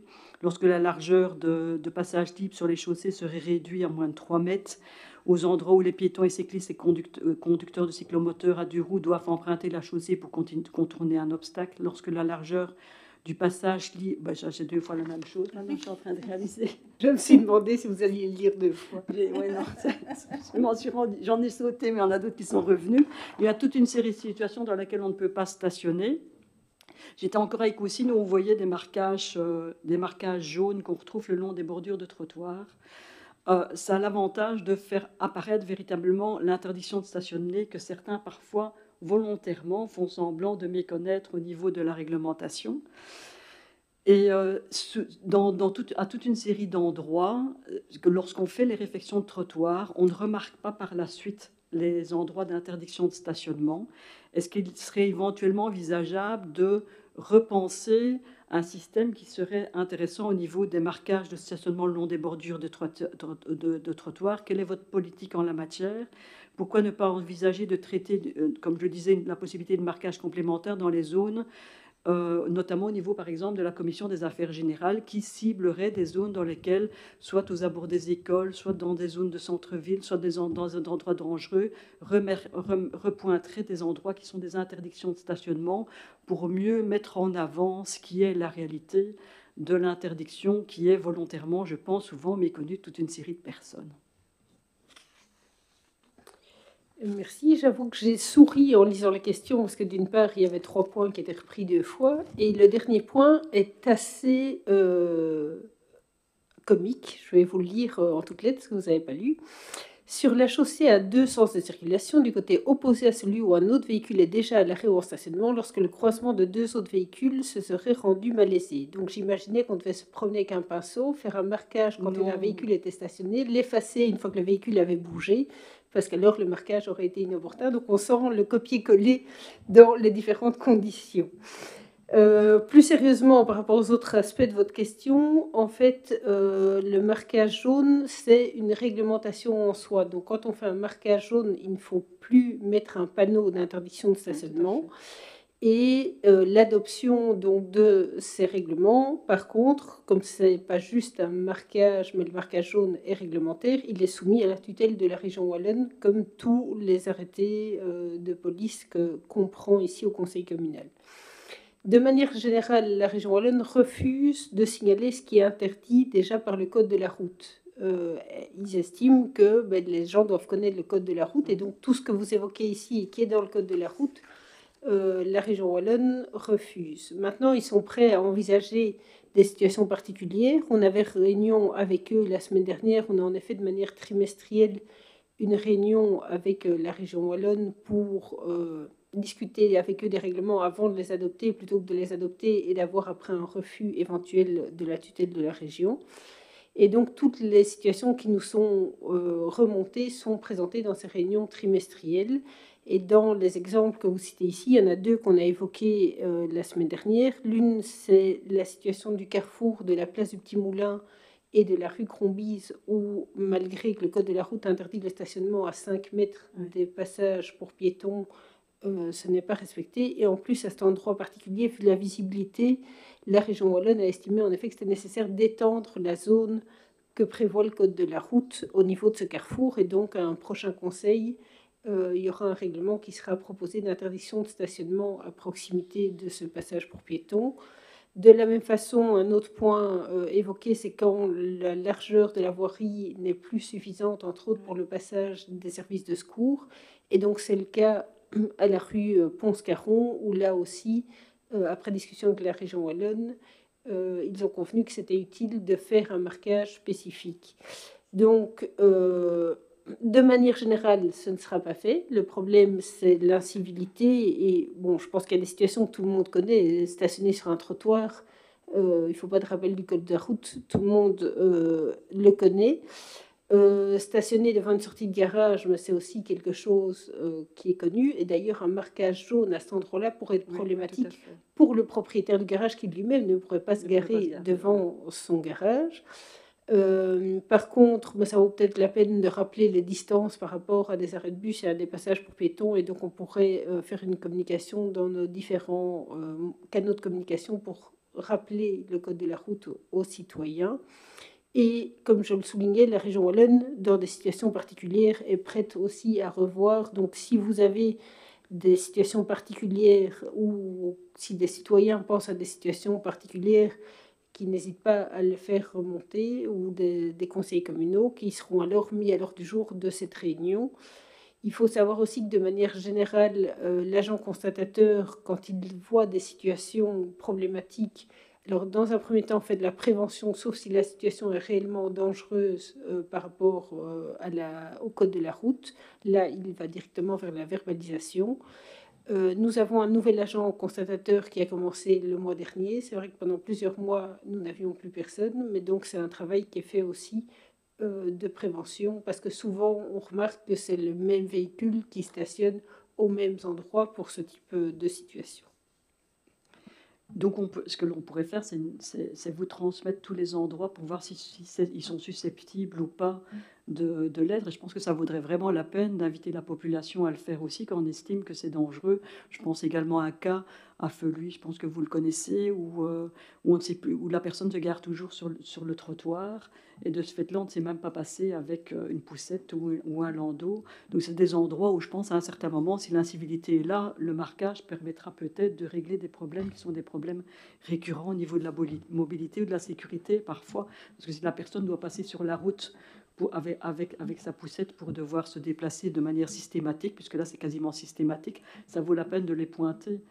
Est-ce qu'il est envisageable peut-être à un certain moment sur le site Facebook de, de, demander on sait que si on le demande à la population, toute une série d'éléments vont arriver, mais au moins on aura un recensement naturel en, ciblant sur des problèmes de sécurité potentiels aux alentours des écoles, pour voir si c'est pas possible éventuellement d'envisager un marquage avec, euh, au niveau de votre réunion trimestrielle, au niveau de ces éléments-là. Oui, mais donc les citoyens peuvent en effet remonter les situations. Euh, quand on a connaissance, et je suppose que si on parle à lui, c'est à proximité de la place du Trichon d'un véhicule qui stationne. Euh, donc euh, ben, cette situation a été relayée à l'agent constatateur. Comme je disais, depuis plusieurs mois, on n'avait plus d'agent constatateur. mais donc les, situations comme ça peuvent être relayées pour sensibiliser. dans, ce cas-là, c'est pas une question de marquage, c'est une question de sensibilisation, enfin, de prévention et puis de verbalisation suite à la, si la prévention n'est pas respectée. J'ai d'ailleurs vu l'agence constatateur qui a les questions. Voilà, alors nous avons maintenant neuf questions posées par le PS. Pour le PS, la première question. Bonsoir. Et meilleurs vœux, effectivement, à ceux à qui je n'ai pas encore eu l'occasion de le dire. On a une, deuxième question sur la crèche de Feluy, mais comme Madame Daudet n'est pas là, on la posera le mois prochain. Ça n'en fera plus que huit, puisque c'était elle qui devait répondre. Donc la première question, c'est une question finance. Euh, le 13 décembre dernier, le collège a dû statuer sur une réclamation de la société Interconstruct qui a œuvré dans le cadre des nouvelles installations du FC SNEF et a réclamé 23 000 euros et quelques de dédommagement parce qu'il y a eu un retard de paiement de l'administration et je voulais avoir plus d'explications. Donc, euh, au niveau du stade du MAF, donc, euh, la révision des frais liés au bâtiment a été importante en fin de chantier. Les états d'avancement ont grimpé dans les derniers mois et donc le budget a été dépassé. Il fallait donc réinscrire le solde pour pouvoir pallier à cette révision importante. Il fallait surtout vérifier tout à la loupe pour ne pas faire d'erreur, d'où des retards, des retards liés au fait qu'on a dû réinscrire un montant en modification budgétaire pour ensuite attendre l'accord de la tutelle pour pouvoir enfin libérer le solde.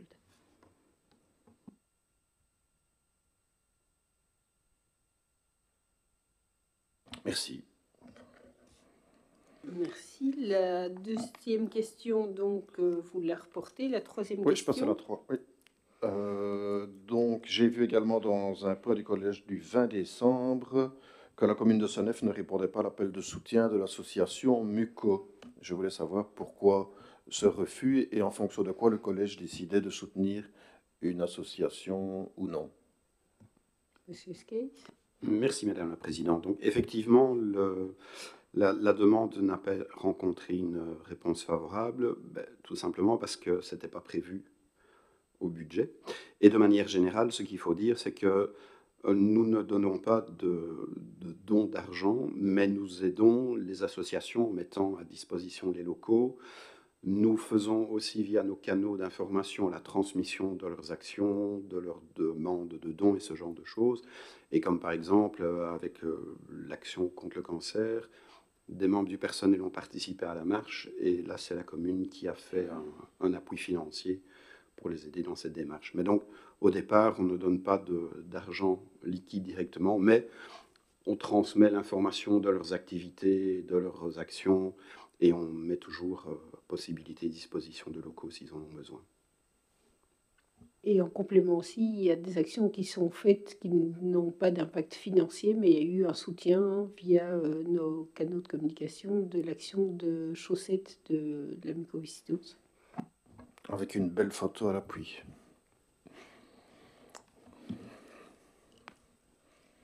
Question suivante. Je roule.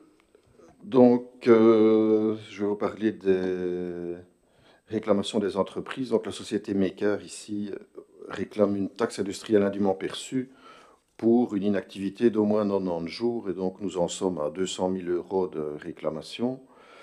Et je voulais savoir si euh, d'autres entreprises, si vous avez déjà connaissance, puisqu'on sait que la transmission des informations est toujours compliquée à ce niveau-là, je voulais savoir si vous avez connaissance de dégrèvements futurs.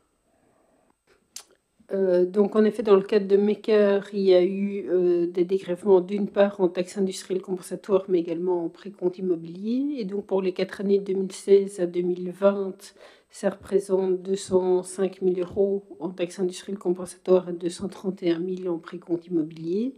Pour 2021, on a déjà connaissance qu'une euh, demande de dégrèvement a été introduite. Donc concrètement, euh, les entreprises, leur revenu cadastral est calculé sur le bâtiment, le terrain, mais également sur l'outillage. Et donc, quand il y a une inoccupation de plus de 90 jours, ils peuvent demander un dégrèvement, ce qui est le cas ici de 2016 à 2020. On est de l'ordre d'une centaine de jours chaque année.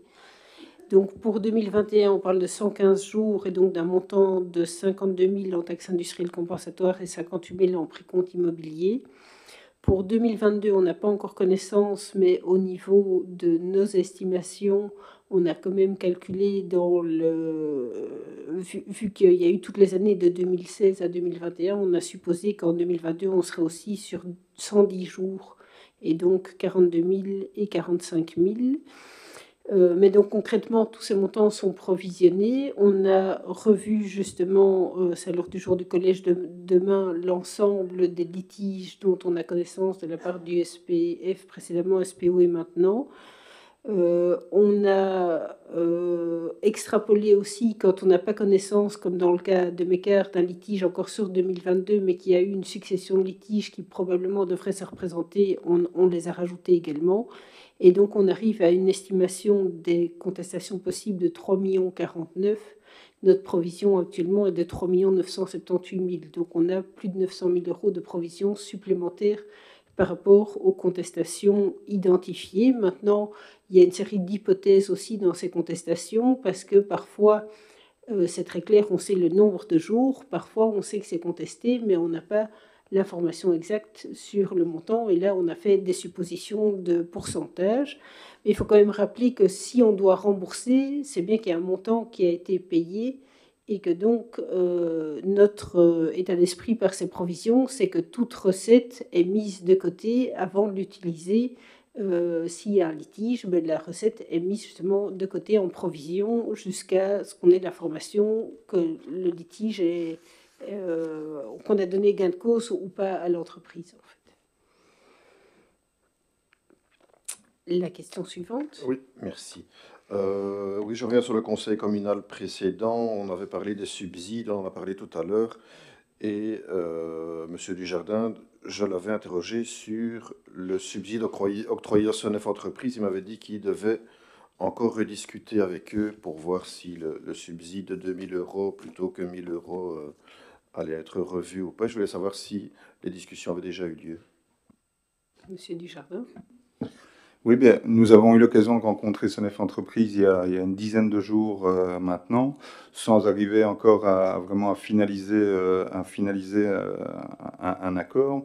Mais l'objectif vraiment, donc, c'est évidemment de maintenir ce, le, subside tel qu'il est prévu, mais d'aller aussi vers d'autres formes de, de, de soutien, puisqu'ils nous ont fait part notamment de difficultés pour, euh, de, pour pouvoir disposer de salles pour organiser euh, toute une série de, manifestations, de, réseautage et de soutien aux entreprises, aux commerces, aux commerces locaux, hein, activités qu'ils organisent déjà régulièrement et qui, qui s'accompagnent notamment aussi de, conférences et donc d'informations qui sont dédiées à ce public.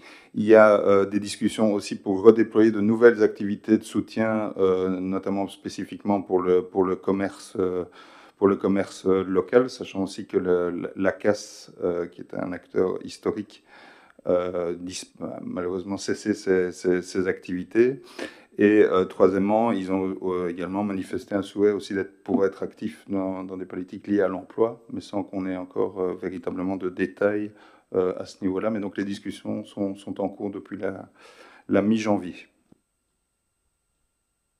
Très bien, merci. J'enchaîne Oui. Allons-y, allons-y gaiement. Donc, euh, toujours dans ce collège communal du 20 décembre, nous apprenons qu'un inventaire des poubelles neuves se trouvant au dépôt communal avait eu lieu. Pourquoi cet inventaire n'avait jamais été fait précédemment? Et après avoir fait cet inventaire, vous avez décidé de remplacer certaines poubelles publiques, 44 en tout, et il y aura 9 nouvelles poubelles à divers endroits de la commune. Pourquoi si peu de poubelles dans nos quartiers Considérez-vous que notre commune soit propre Et enfin, qu'allez-vous faire des poubelles déclassées? Monsieur Skate Merci Madame la Présidente. Euh, donc, l'inventaire, en fait, il y a eu un inventaire qui était fait préalablement, mais on a fait une mise à jour de l'inventaire, étant donné que par moment, le service travaux remplace des poubelles qui sont abîmées et omet de signaler qu'ils ont été épuisés dans, dans, la réserve, comme on dit. Donc c'était surtout pour voir vraiment l'état de l'inventaire, où on en était. Alors, euh, effectivement, il y a des emplacements prévus des nouveaux pour neuf poubelles, Mais c'est un, projet qui va évoluer, étant donné qu'on va mettre en collaboration l'agent constatateur également, qui lui aura une vision beaucoup plus factuelle et pourra bien justifier la nécessité de, placement de poubelles supplémentaires. Et dans ce cadre-là, on va passer aussi euh, des appels pour euh, en acheter des, nouvelles. Merci, euh, Monsieur Scalis. Donc, si je comprends bien, ça veut dire que la politique qui a été menée par la mandature précédente, qui était de retirer des poubelles parce qu'on en avait, parce qu'on mettait trop de déchets dedans, est inversée aujourd'hui parce qu'on va en remettre plus? Là, je ne peux pas répondre à votre question, je n'étais pas présent. Moi non plus, mais j'ai l'information. Je ne pense pas qu'on puisse parler d'inverser. En fait, il y a une réévaluation. L'idée d'installer des poubelles auprès des arrêts de bus aux endroits fort fréquentés reste la même. Il y a en effet des lieux où il n'y en a pas et qui, où il devrait y en avoir. Donc, c'est de réévaluer euh, et de, de, pouvoir en rajouter. Je pense qu'il ne faut pas à tout prix ne pas en mettre et il faut pouvoir réévaluer le lieu où il y a lieu d'en mettre. Question suivante. Il faut avouer, quand on s'est trompé, ça peut arriver. Euh, voilà, donc le 27 du 12, toujours lors d'un collège, vous annoncez que vous étiez à la recherche d'une fuite de gaz à la salle du Fier à Bras Famille Heureux, salle qui accueille des événements, des activités sportives, des consultations ONE et aujourd'hui la maison médicale. Cette fuite a-t-elle été repérée et est-ce qu'elle présente toujours un danger ou pas? Monsieur Delannoy. Bonsoir. Donc, euh, on, a fait un contrôle euh, AIB des installations euh, de gaz et effectivement, il s'est avéré qu'il y avait une micro-fuite dans, le circuit à Famille Heureux. Alors, on a désigné un, agent technique spécial pour chercher après cette fuite et il a divisé le secteur en trois morceaux pour essayer de trouver la fuite et il n'a jamais trouvé la fuite. Donc la micro-fuite est vraiment une petite fuite qui n'est pas euh, dangereuse euh, pour les installations. Et alors, euh, il faut savoir qu'on a, on a eu un subside de 500 000 euros pour rénover cette salle, tout ce qui est la rénovation du bâtiment énergétique. Donc on va trouver une solution pour changer le système de chauffage parce que la fuite est probablement dans les canalisations qui est dans le sol. Donc on va essayer de changer ça.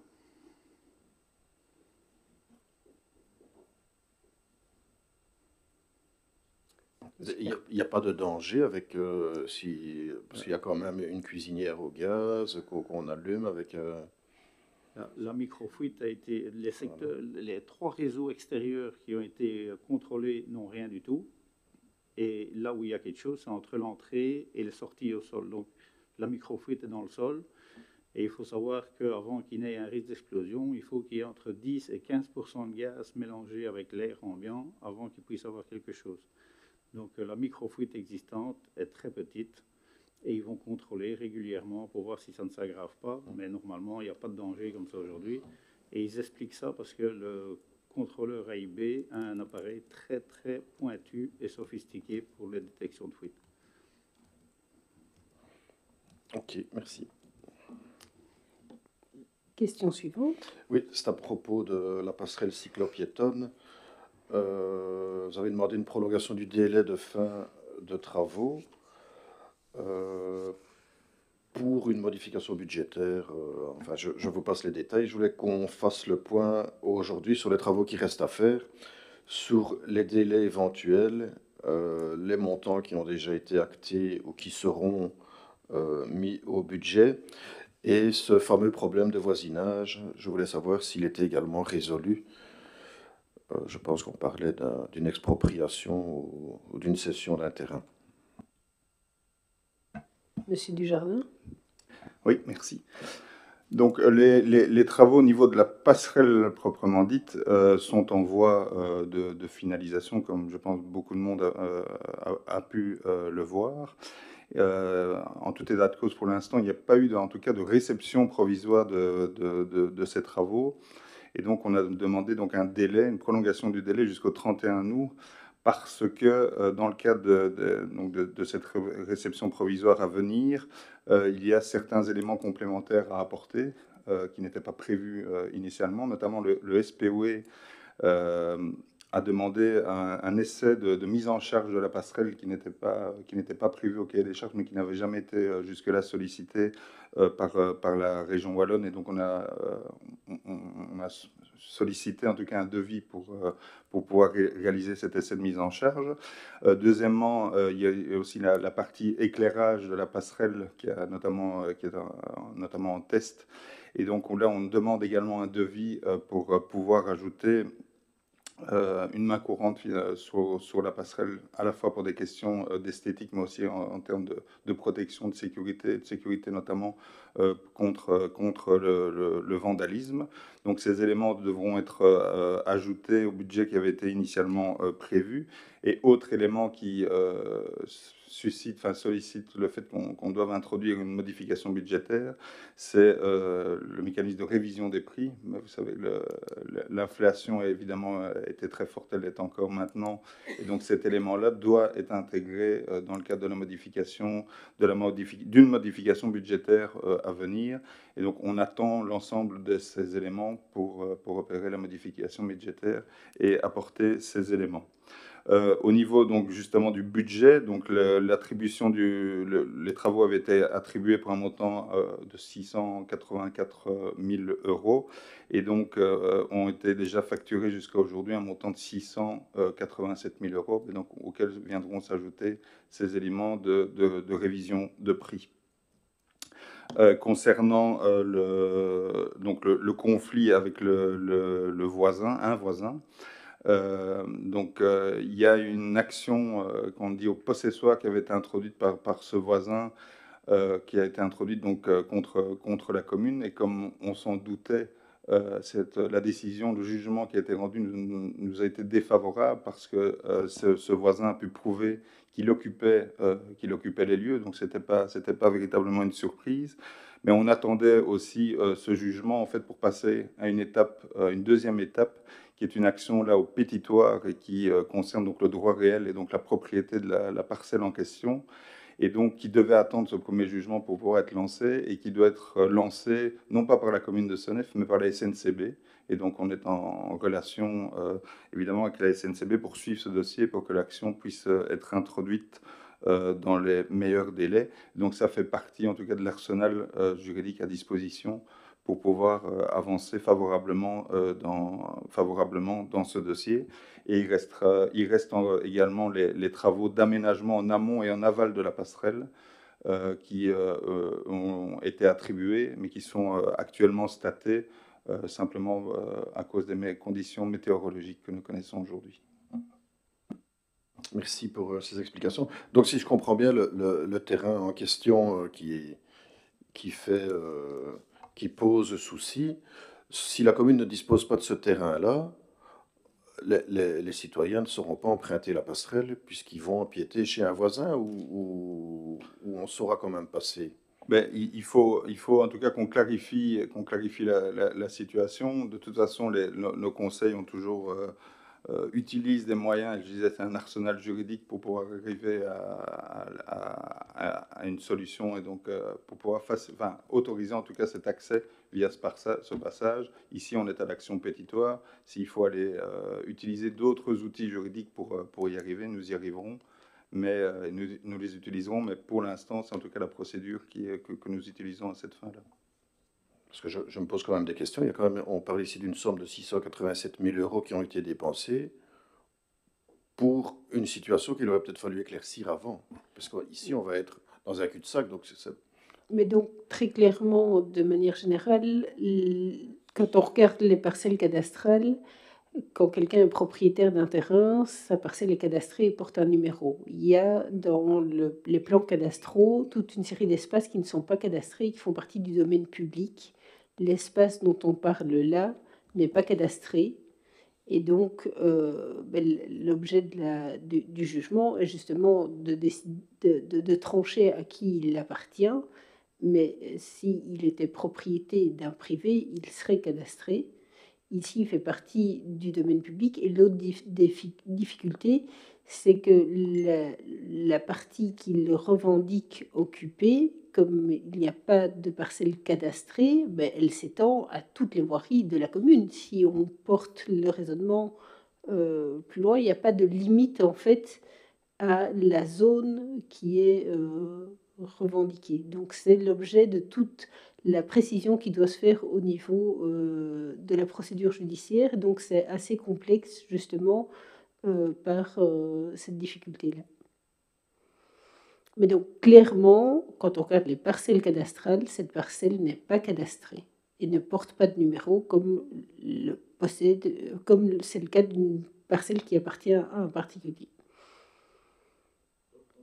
Si je vous comprends bien, c'est la SNCB maintenant qui, a les cartes en main pour pouvoir récupérer, euh, j'allais dire la, la passerelle, c'est la parcelle ici, en question, et pour pouvoir la, rétrocéder à la commune de Sonnef. Donc la propriété est à la SNCB qui a une convention avec la région Wallonne, qui a une convention avec la commune. Cette convention est passée avec la commune il y a déjà plusieurs années. C'est à ce moment-là d'ailleurs que la commune a été sur le terrain suite à la convention qu'elle avait signée avec la région Wallonne. Et c'est là que le riverain s'est manifesté en, en, en disant qu'il occupait l'espace et que donc il, euh, alors, il y a deux actions. La première, c'est l'occupation. La deuxième, c'est la propriété. Clairement, sur la propriété, il n'y a pas de titre de propriété de, de cette personne et la parcelle n'est pas cadastrée. Mais ça, au niveau juridique, il, faut, il fallait le premier jugement qui a duré malheureusement 3-4 ans pour pouvoir lancer la nouvelle procédure et ça, c'est la SNCB qui doit la lancer. On a eu déjà plusieurs euh, réunions avec les avocats de la région, de la SNCB et euh, de la commune pour lancer cette procédure. Ok. Mais donc, au niveau de la commune, la parcelle n'est pas cadastrée, fait partie du domaine public. Nous avons une convention avec la région Wallonne et c'est dans cet esprit-là que les travaux ont été entrepris sur base de ces deux éléments qui, euh, qui, qui permettait de penser que la commune pouvait euh, euh, occuper le terrain. Donc, au moment où on se parle maintenant, la passerelle, même si, en imaginant que tous les travaux soient, terminés autour, elle ne sera pas accessible à cause de ce litige. Dans l'état actuel, euh, non, mais donc dans le litige, il y a encore deux volets. Comme on disait, il y a un premier volet en possessoire sur lequel le riverain a eu gain de cause, mais avec la difficulté que la dimension de l'espace qu'il occuperait n'est pas définie. Et comme la parcelle n'est pas cadastrée, euh, à la limite, ah bah, ça va jusqu'à la rue ici devant. Euh, et donc, il y a d'une part une action entamée là par la commune de préciser le, premier jugement, et d'autre part une action euh, au niveau de la SNCB, au niveau du titre de propriété. Et quand, on connaît la ponctualité des trains, on ne risque pas de passer rapidement sur la passerelle. et les je, délais, reste un peu de la justice. Je reste un peu dubitatif sur la façon de, dont ce projet a été mené, parce que la passerelle, euh, c'est un bijou, hein. mais si on ne peut pas l'emprunter, il y a plusieurs autres alternatives euh, de manière temporaire, mais on voudrait pouvoir le faire. Euh, en ligne droite. Ça, Nous suivrons ça attentivement. Votre huitième la question. La dernière question, donc je poursuis toujours sur les projets euh, de cette mandature et notamment un projet qui a fait euh, couler beaucoup d'encre, c'est le fameux clubhouse du tennis club de Feluy. J'ai vu dans un collège que vous aviez décidé le 30 décembre d'arrêter ce projet. Je voulais savoir les dépenses qui avaient déjà été euh, engagées pour ce projet-là, euh, pour les études, les travaux préparatoires, les éventuelles locations, et quel va être l'avenir de ce projet? Madame Diou. Donc, euh, d'abord, c'est un projet qui ne date pas de notre législature, puisque c'est un projet qui a démarré en 2012, donc avant, donc il y a plus de même. 2009, oui. Donc, un budget pour le nouveau clubhouse était estimé à 1 8 492 euros TVA comprise. Il comprenait l'ensemble des travaux effectués, c'est-à-dire la location des containers, la finition des terrains indoor, la démolition et la reconstruction du clubhouse. Pour la location des conteneurs, ce budget est assez limité car nous comptons récupérer les deux conteneurs buvettes installés pendant les travaux au FC SNEF et donc nous n'avons besoin que des conteneurs pour les sanitaires et les vestiaires. Un montant de 10 960 euros a été proposé. Donc il y avait deux lots, le lot 1 pour la démolition et le lot 2 pour la reconstruction du clubhouse. Pour le lot 1, nous avons reçu sept offres et pour le lot 2, deux offres. Pour la reconstruction, les, offres dépassaient l'estimation car une entreprise faisait une offre de 1 557 119 euros TVA comprise et l'autre 1 697 000 euros de TVA comprise également. Nous avons donc décidé d'arrêter la procédure de passation de marché de démolition et de construction du nouveau clubhouse, étant donné que les offres étaient largement euh, hautes. Le marché sera donc relancé. Nous avons pour cela contacté le bureau d'études pour refaire des propositions de cahier des charges en y inscrivant des options, des variantes ou des tranches conditionnelles afin de respecter le budget. Nous, devrons sans doute rentrer à un permis d'urbanisme modifié. Les honoraires de l'architecte sont évalués à 156 000 euros et pour le moment, nous lui avons déjà versé un montant de 117 000 euros. Le solde lui sera payé lors du suivi du chantier et en fonction du montant total du bâtiment. Nous attendons donc maintenant une nouvelle estimation de l'architecte. Voilà, donc contrairement à ce que vous dites, ce n'est pas un abandon du projet, il n'y a pas d'attribution du marché tel qu'il était prévu dans le cahier des charges, c'est une révision du projet. Parfait, merci. Quand vous aurez les conteneurs, n'oubliez pas l'état des lieux. Ces conteneurs-là sont propriété communale, donc. Voilà. Euh, la quinzième question, Monsieur Charlier. Oui, je pense qu'on l'a déjà évoqué. Donc, ma, question était simplement de relayer les soucis des citoyens qui se présentaient au Récit Parc avec leur encombrant qui se faisait rejeter. Donc, ma question était, mais je pense que la réponse a été donnée précédemment, c'était de dire qu'en fait, ce ne sont pas des nouvelles dispositions, mais simplement euh, une application plus stricte et plus rigoureuse pour une uniformité au niveau des réciproques d'IGA. Donc voilà. Oui, tout, à fait. Ce que je peux ajouter comme euh, complément d'information, c'est qu'au niveau de la commune, on va euh, relayer cette information via nos, canaux d'information. Merci. Euh, alors, il y avait encore une question récente par rapport au projet de Google, enfin de data center de Google. Il est cité déjà. Je me réveille, j'avais oublié. Donc ça, concerne ben, le data center et le positionnement qu'on a vu dans la presse déjà de la commune d'Écosine. Je, je suis, la, commune de Sénève va se positionner également. Est-ce que c'est déjà le cas quels sont éventuellement les points que vous mettez en avant comme soucis potentiels ou points d'attention au niveau du suivi du data center? Et alors par rapport à la discussion qu'on a eue tout à l'heure avant, avant, pour la préparation, euh, on mon collègue évoquait justement le fait que euh, près de, des chutes du Niagara, il y a un gros data center qui a été implanté, notamment au niveau du bruit, par exemple. Les riverains qui entendaient avant les chutes du Niagara ne les entendent plus. Donc le bruit, visiblement, la problématique du bruit est une problématique relativement importante. En plus des soucis, on connaît, de ponction éventuellement dans des sources, dans des sources au niveau de l'eau, euh, parce qu'il y a un besoin de refroidissement important du système. Donc il y a toute une série de soucis qu'on connaît et c'était pour voir un petit peu si vous vous étiez déjà positionné, quelle était la position, si, si tel était le cas, quelle était la position que vous preniez, les remarques que vous souhaitiez formuler sur ce projet. Monsieur Case Oui, merci Madame la Présidente.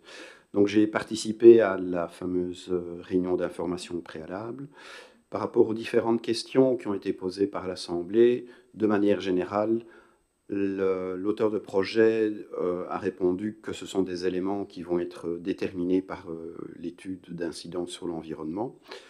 Et sur ce point-là, justement, la commune d'Écossine a transmis toute une série de, remarques pour justement montrer l'attention sur laquelle ils doivent être plus attentifs, je dirais, euh, notamment sur l'intégration du projet dans l'éco-paysage, les impacts sonores, euh, la structure au niveau de l'emploi projeté, le calcul de l'alimentation électrique, participation et intégration du site au projet de capteurs euh, de qualité, puisque dans ce cadre-là, nous sommes occupés avec la commune d'Écosine on va installer des nouveaux capteurs d'air pour pouvoir réagir plus rapidement et essayer de définir des problèmes éventuels euh, d'odeur et encore d'autres espaces comme réduction de la consommation de l'espace, euh, production d'énergie primaire renouvelable et ce genre de choses.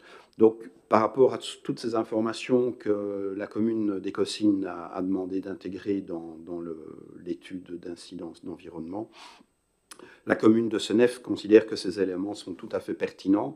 Et donc, avant de nous positionner, on attendra que l'étude soit vraiment euh, lancée et qu'elle soit accessible pour être analysée. Donc ici, pour l'instant, il n'y a pas de remarque préalable. Et par rapport aux nappes phréatiques, c'était surtout des positionnements cadre de vie. J'avais vu Écosine, est-ce que ça a été évoqué Apparemment, ils ne vont pas devoir utiliser de l'eau et donc pas faire de, pompage dans la nappe. Mais donc, pour rappeler la procédure, on est ici dans la réunion d'information publique sur laquelle il y a toute une série de thématiques euh, qui est pointée dans le cadre de l'étude d'incidence. La réunion d'information publique, elle date d'il y a dix jours, je pense, ou une semaine. Euh, et donc, on a un délai pour euh, rentrer des, demandes éventuelles. Maintenant, si elles sont déjà pointées et qu'il n'y a pas de demande supplémentaire à ce qui a été dit, ça ne sert à rien de d'écrire. Et puis après, il y aura un le résultat de cette étude qui devra être intégré à la demande de permis, la demande de permis qui repassera pour avis au, au niveau du collège communal. Donc on est ici dans pointer des éléments qui doivent être étudiés dans l'étude d'incidence et s'il n'y a pas d'autres éléments que ce qui a été évoqué dans la réunion, il n'y a pas lieu d'en rajouter. Oui, tout à fait. Ce n'est pas encore un avis du collège. Oui, oui je sais, c'est parce que c'est la réunion préalable. Moi, je n'ai pas su y aller. Monsieur qui est allé, je suis rentré trop tard de Bruxelles, sinon mon intention était d'aller d'écouter également. Mais c'était surtout par rapport aux remarques. Je ne savais pas que la commune, comme ce n'était pas encore la procédure de permis, la commune d'Écosine ayant établi toute une série de remarques. C'était pour voir un petit peu s'il en était de même à, à Senef. Vous les partagez manifestement, c'est ce que je conclurai. Mais comme ils les ont déjà formulés, qu'on est dans les travaux préalables, vous n'allez pas au-delà de partager ce qui a été formulé au niveau d'Écosine, je ne me trompe pas. Bien exact.